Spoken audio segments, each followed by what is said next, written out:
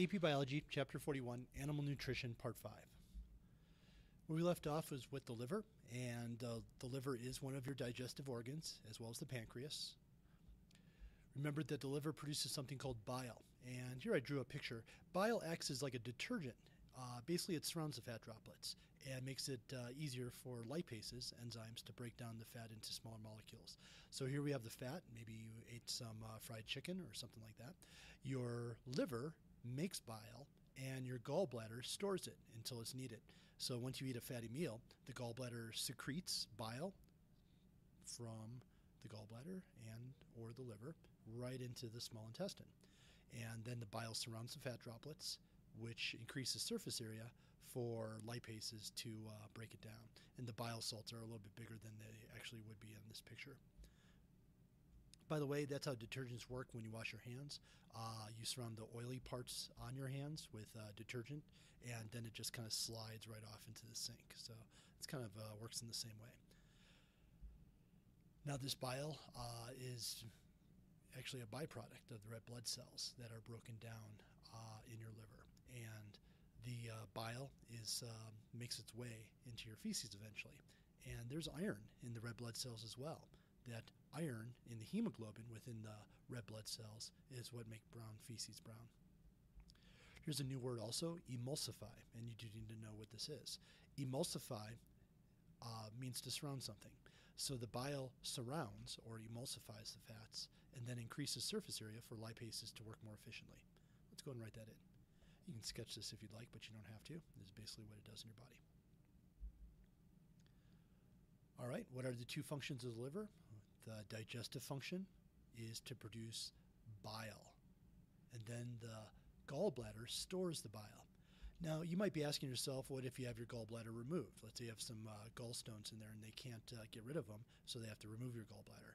Well, you still make bile, you still have a liver.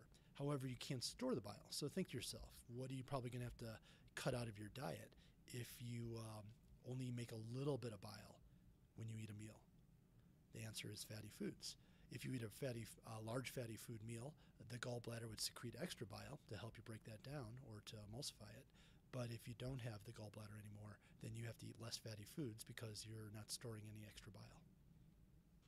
Bile also sometimes tastes really nasty if it comes back up into your throat for some reason, and um, people use that to uh, refer to something that leaves a bad taste in the mouth.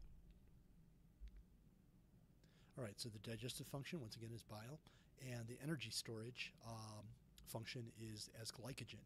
Remember, it can store glucose in chains called glycogen, also known as animal starch. The third function is detoxification, that we'll talk about in a future chapter. Basically, it's going to uh, convert ammonia into urea. So we're still in the small intestine. We're secreting some things from the pancreas as far as digestive enzymes. And remember, also bicarbonate to neutralize acid in the uh, intestines is secreted by the pancreas as well. The liver is secreting bile, also the gallbladder, uh, to emulsify fats. And now the small intestine. Let's talk a little bit more about this. There's these little finger-like protrusions in the small intestine called villi, and you need to, need to know what they do increase surface area. So we can absorb more stuff from our food that we eat. We want to get every last bit of nutrient out of that food, every last, last bit of energy. On top of these little villi, which increase surface area, we have even smaller, tiny little um, villi, if you want to call them that, on top of the main villi. And these little villi are called microvilli, also called a brush border. So you have the villi, and then you also have the microvilli. Now, there's um, something you should know about these villi and microvilli. When you break down your starch into sugars, the sugars can be absorbed by active transport, not by diffusion, right into the bloodstream. So, why active transport? Why wouldn't you want to use diffusion? The answer is to get every last bit of sugar out of the food you, that you ate. All the stuff that you eat, really, you want to reclaim in your body. And if you rely on just diffusion, when you have no more diffusion occurring because there is a uh, equilibrium or no difference in concentration on both sides of the uh, intestine brush border, then you wouldn't be able to move any more materials into your bloodstream. However, if you use active transport to pump the glucose and amino acids and other things into your bloodstream, then you can get a lot more out of your food, even though you're going to use a little energy in the process of doing that. So you should know that active transport pumps most things, like glucose, into your bloodstream from your small intestine. Now, the one exception is fats.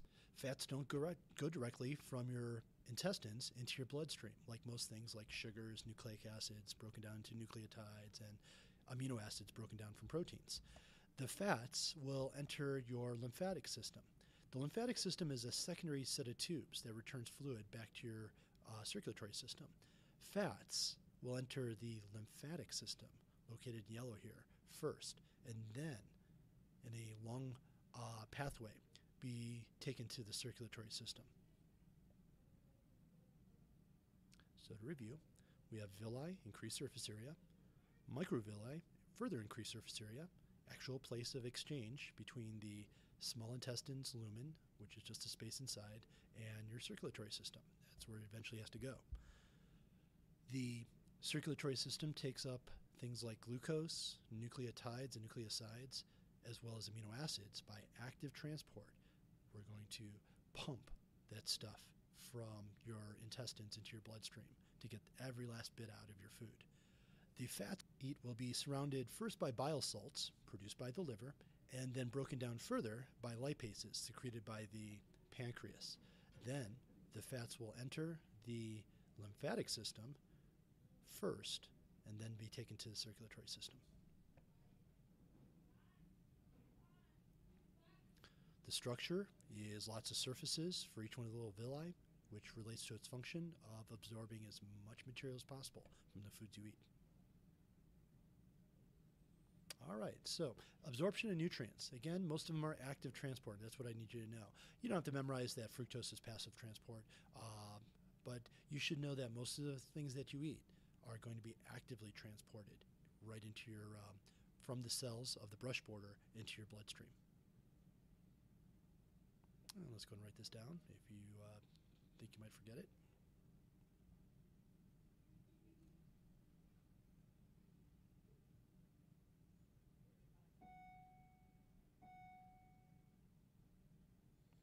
All right.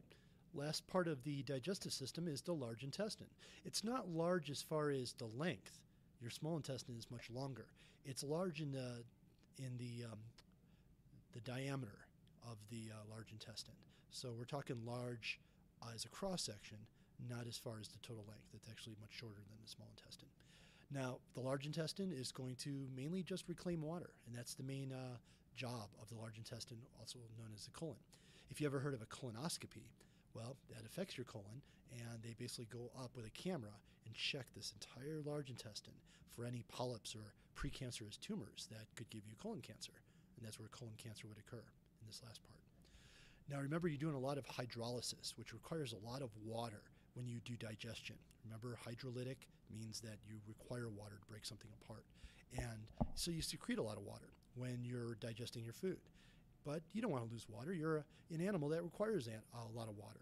So your large intestine reabsorbs much of that water back into your, um, into your body. If your inner lining of your large intestine is irritated by bacterial infections or some kind of amoeba, then it won't take the water up. So if your large intestine is irritated and doesn't reabsorb water, the water with the feces just kind of mixes together, and bam, you got diarrhea, and that's how that works. Constipation is when you reabsorb too much water. Now, the main thing you do when you have diarrhea is just drink more water, and you could actually die from diarrhea. You could be so dehydrated that you can't even carry on your life uh, functions with that uh, medium to transport stuff. So that could be a serious condition. And of course, you just drink more water if that's the problem.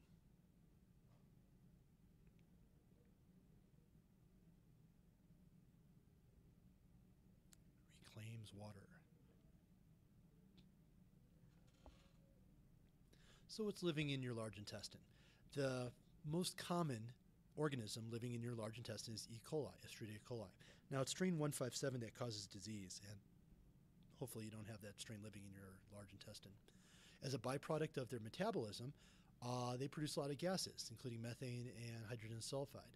And basically, those are your fart gases. So if you have a fart, well, that's not really your fault. It's the E. coli breaking down the food that you can't break down. And you don't. A lot of people don't have the enzyme to break down proteins in beans.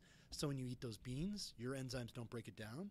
The proteins make it to the E. coli. The E. coli can break it down, and as a byproduct, they give off methane gas and hydrogen sulfide. Maybe you've seen some of those movies where they light their farts on fire.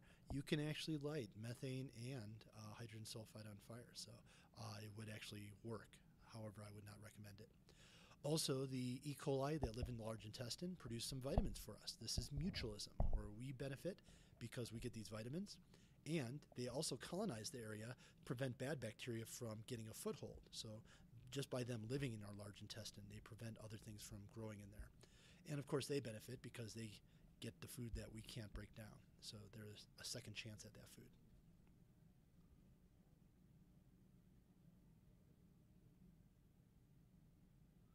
At this point. They produce vitamins and they colonize the intestine, prevent other things from colonizing that might be more harmful to us.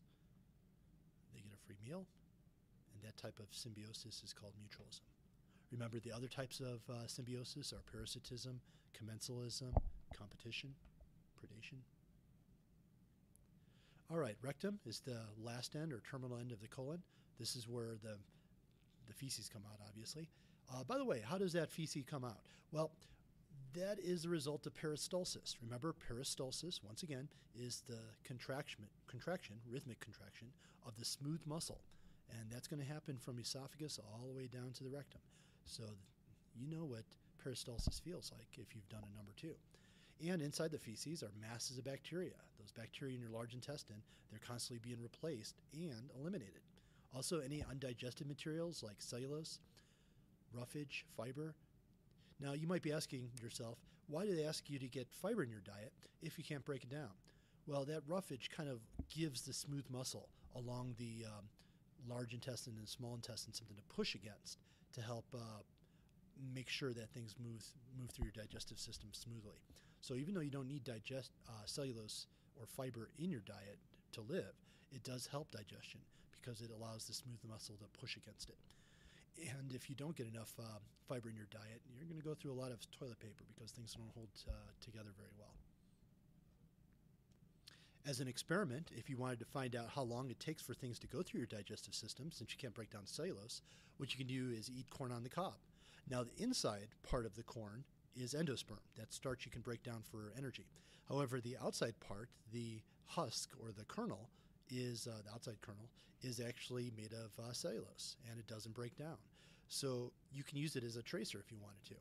Next time you eat corn on the cob, notice how long it takes for the corn to appear in the um, in the restroom. And since the you know the cellulose of the corn uh, doesn't break down, that's a good way to find out how long it takes for things to go from point A to point B.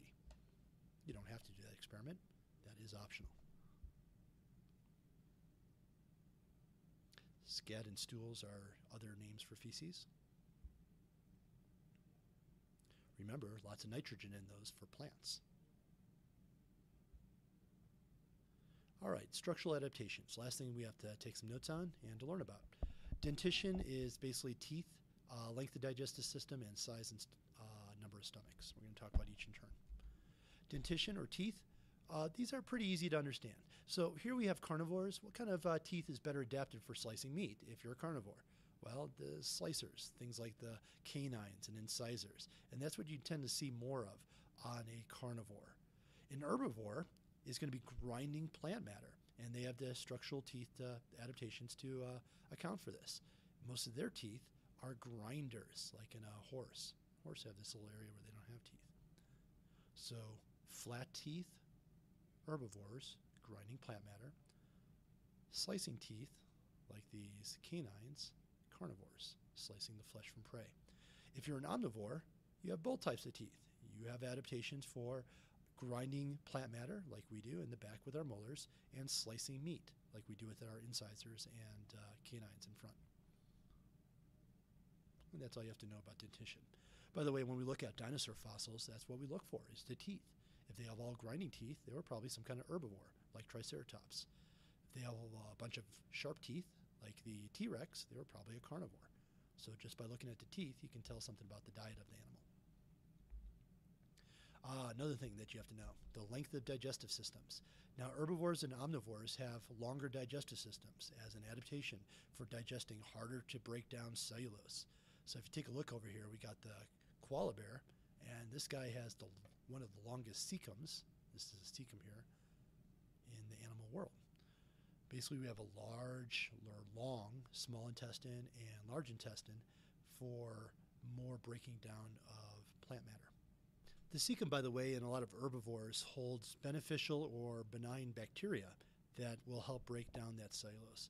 Remember, animals can't break down cellulose. They don't have something to break down the beta linkages, an enzyme to break down, down the beta linkages. But there are microorganisms like bacteria that can do that. So basically, the koala bear stores extra microorganisms, bacteria, to help them break, them break down that cellulose. In carnivores, they have a shorter um, digestive system, and meat is easier to break down than cellulose. So the meat um, doesn't uh, select for a longer digestive system because it there is no real survival advantage to having a larger digestive system if you're a meat eater. All right, it's pretty easy. Herbivores, omnivores, longer. Carnivores, shorter. Why longer for the herbivores? Because plant matter takes longer to break down and it provides them a survival advantage.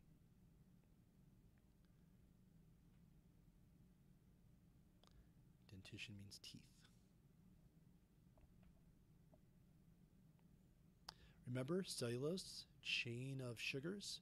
However, they're held together by the beta linkage, which is not easy to break down. Starch, held together by alpha linkages, easier to break down. All pretty much every animal can break down starch with enzymes. You can read this if you want. This is just some background information.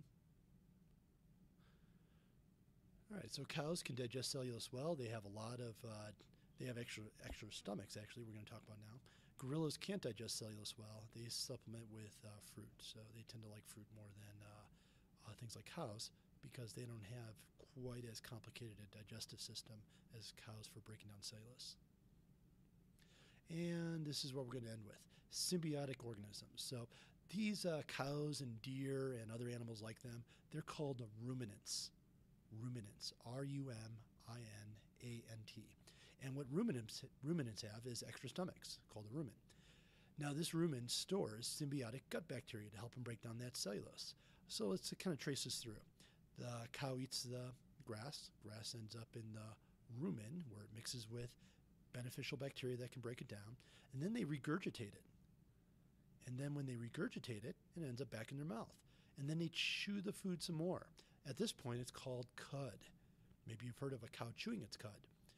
When it's chewing the plant matter, it's actually breaking open the fibers of the plant to expose more surface area. You've heard that before and allows the bacteria that were in the rumen to get at those places where they couldn't get at before. Remember, bacteria are very small.